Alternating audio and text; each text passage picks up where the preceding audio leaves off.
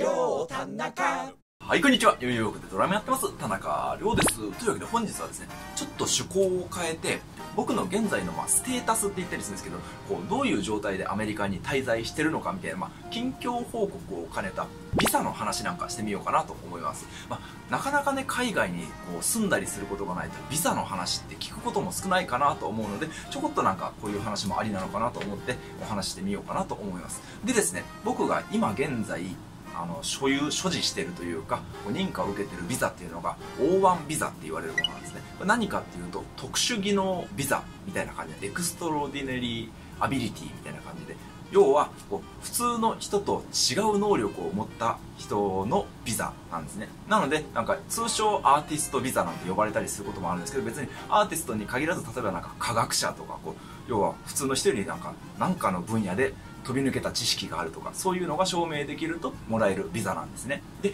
今回がですねあの今回がっていうかそろそろ僕今のビザが切れるんです。今のが2回目で今度、えー、取取れたとしたら3回目になるんですけどえー、っとですね過去にそう2回取ってて2014年と17年に取って3年ごとなんで20年3年間で切れちゃうんですね。なので20年今年またあの申請今もうすでに送ってある状態なんですね。で最初の1回目2014年の時はやっぱりあの初めてなんで結構ね苦労したんですよ。どうやったらいいんだろう。書類の作り方とかも結構わかんないんでもう友達とかに聞きまくって結構ですねもう本当あのバークリーの卒業生とかもう会うとみんなその話しかしないみたいな状況だったりするんですけどそれで、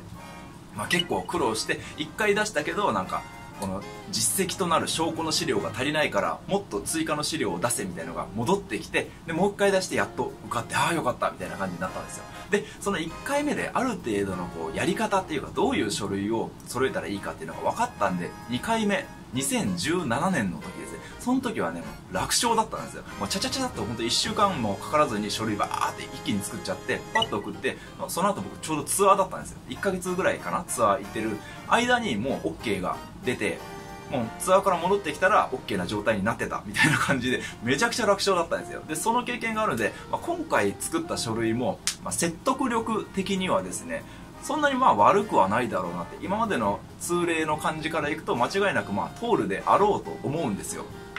でまあその書類の中身なんですけどまあもともとそのビザっていうものがですねやっぱりその国で働くことがあらかじめもうすでに決定してるというか雇用主が決定してる状態でだからこのリーガルでこうあのえっ、ー、となんていうんだ合法的に働けるためのビザをくださいみたいなお願いを政府にするものなんですね。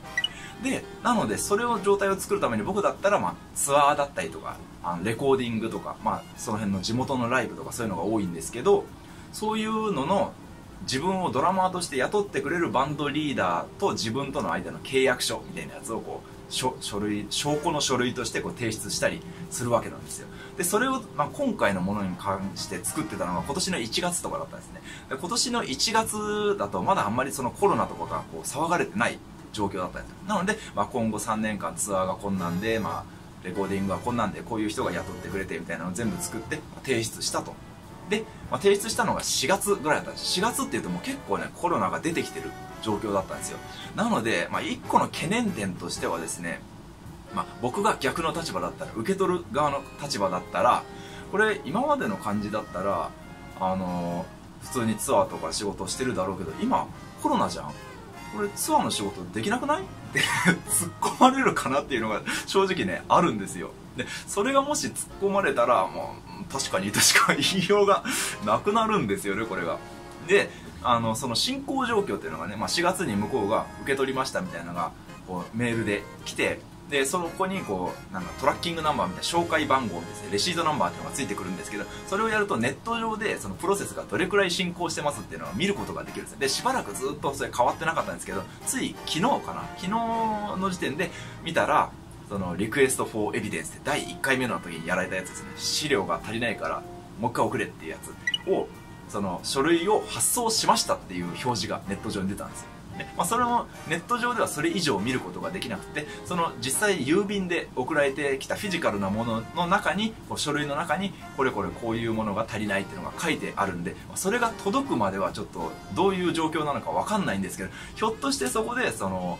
まあ、このあのライブとかツアーの契約書これ向こうじゃないの？みたいな感じで、ね、言われたらああなるほどなってなったりするかなとも思うので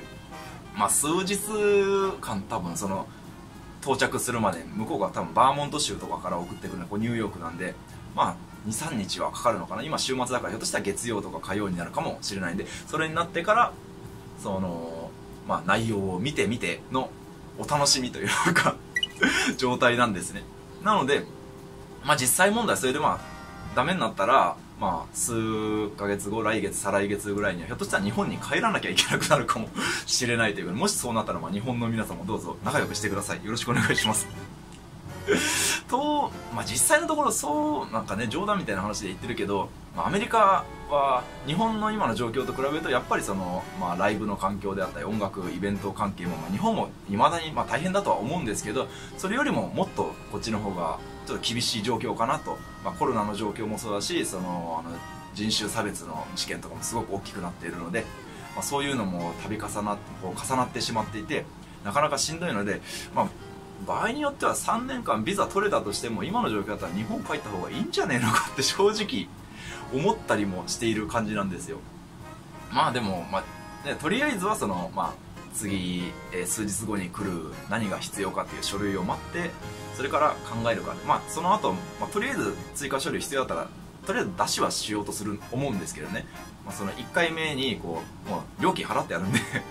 そのままなんか引き下がるのももったいないじゃないですか。とりあえずまああのその詰められたら弱い部分かもしれないけどその契約書のやつとかもしそうじゃないかもしれないしひょっとしたら単純ななんかボンミスでこの書類が足りないとかいうだけかもしれないんで、まあ、それだったらまあそれまあとりあえず出して多分ね出してからまた12ヶ月かかるんですよね。でまあそこをやった後にまあどうするかみたいな感じでなんか軟禁状態がした結局はま続くっていう感じですかね。という感じのまあ現在の状況なんですね。だから結構やっぱりねビザまあやったことない人はなかなかこう実感難しいかもしれないですけどやっぱりね外国人として生きるって結構ね面倒くさいこと多いんですよ。なんかいろいろこの書類関係だとかそういうのとかですね。なんかまあ銀行口座とかそういうのもそうですけど。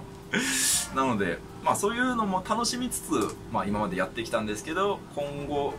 どうなるかはちょっとまあ今のところわからないなっていう感じに正直なっているという感じです。みたいな感じでまあビザのまあ基礎知識ってわけでもないですけどね、まあ、外国に住むんだったらこういう感じなんだよっていうのが多少なんかお伝えできれば